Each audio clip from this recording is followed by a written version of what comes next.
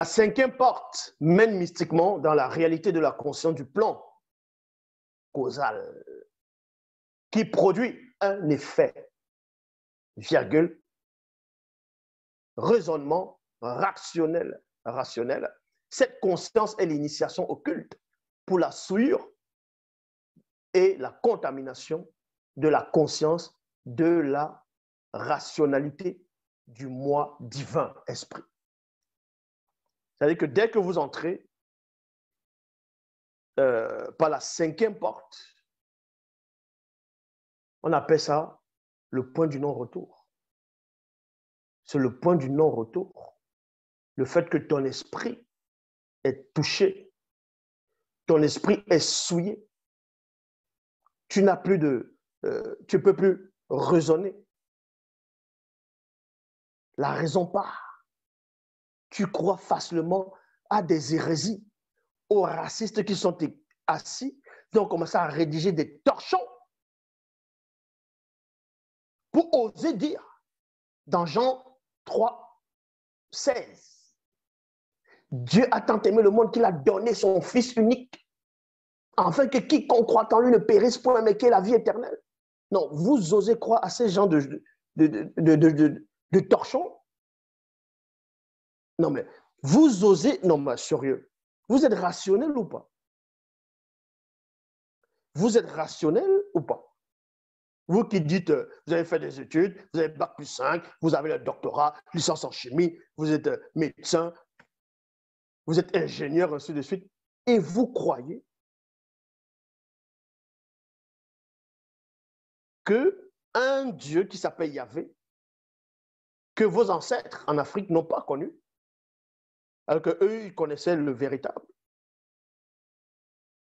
vient inspirer en disant qu'il a envoyé son Fils unique afin que quiconque croit en lui ne périsse pas, mais qu'il la vie éternelle. Alors que dans Genèse, chapitre 6, verset 1 à 4, il est dit, lorsque les hommes ont commencé à se multiplier sur la surface de la terre, que les filles, les filles, les fils de Dieu, les fils, les fils, les fils de Dieu virent que les filles des hommes étaient belles. Ils ont pris pour femme parmi tous ceux qui choisirent. Et dans le verset 4, on te dit, ils ont eu des enfants. Mais dans Genèse 6, on vous dit que Dieu a des fils, on parle des fils de Dieu. Dans Job 1, on parle des fils de Dieu. Et on vous ramène après des choses pour vous dire, en fait, non, euh, oubliez tout ça, Dieu a un seul fils unique. Donc, les autres fils de Dieu, on parlait des anges, c'était quoi? C'était une anomalie de langage? C'était quoi? C'est ce qu'on appelle des contradictions. Des contradictions. De toute façon, libre à vous. Libre à vous de choisir. Vous savez, vous êtes des sacrifiés. Je ne peux pas pleurer pour vous ou sur vous. Vous êtes des sacrifiés. Tout c'est déjà écrit. Hein vous êtes sacrifiés. Parce que vous tous qui acceptez, qui mourrez au nom de ces religions-là, vous qui êtes là-dedans, vous êtes tous envoûtés.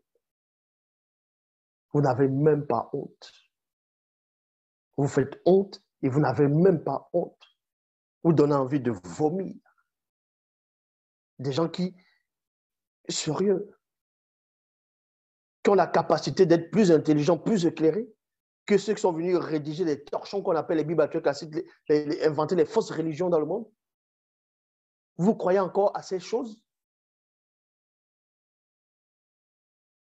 On vous présente, un, on dessine un Dieu blanc, ça vous arrange. Un sauveur blanc, ça vous arrange. Les anges sont blancs, ça vous arrange. On dessine Satan, les démons, ils sont marrons, ça vous arrange. Vous ne vous posez même pas des questions. Au Brésil, même au Vatican, c'est pas plat. Il y a deux statuettes de Marie qu'on présente, la Vierge noire et la Vierge blanche. Vous vous êtes jamais posé la question pourquoi il y a la Vierge noire là-bas? Pourquoi on représente une statue d'une femme, Vierge, toujours Vierge Marie, en tant que noire Vous êtes jamais posé la question pourquoi il y a la statue de la Vierge noire? Et entre la statue de la Vierge noire et la statue de la Vierge blanche, qui est plus célèbre, qui c'est qui s'est manifesté en premier ou en première? Non, ça, vous ne pouvez pas. Là, par contre, vous ne pouvez pas raisonner. Vous ne voulez même pas savoir. Parce que vous êtes sacrifié, on vous a déjà livré. On n'a pas besoin de vous. On n'a pas besoin de vous. Maintenant, celui qui n'est pas content, qui dit euh, Ah, Zulula égale le peuple de Dieu. Ah, donc si tu fais partie du peuple de Dieu, on arrive à t'égarer, c'est fort quand même. Ça hein. dit que Zulula est trop fort. Hmm.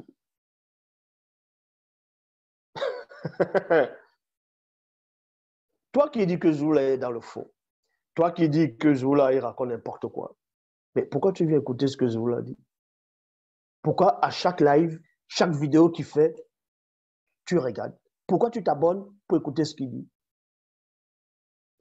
C'est-à-dire que tu vas contre ton Jésus. Hein.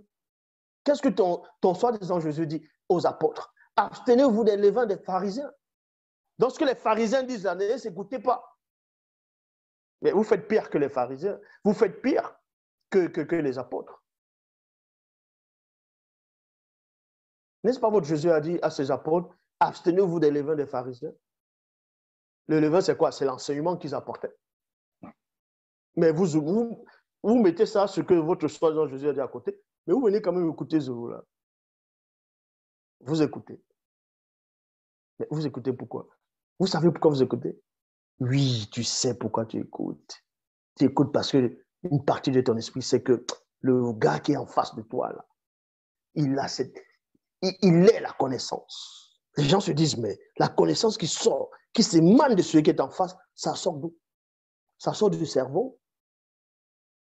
Non. Comment ça, ça sort du cerveau? Il a utilisé les 100% capacité de son cerveau? Non. Il y a, y a un truc derrière. Même j'ai même appris que qu'il y a un ange déchu qui m'enseigne. D'autres disent que c'est Satan directement qui, me donne des révélations.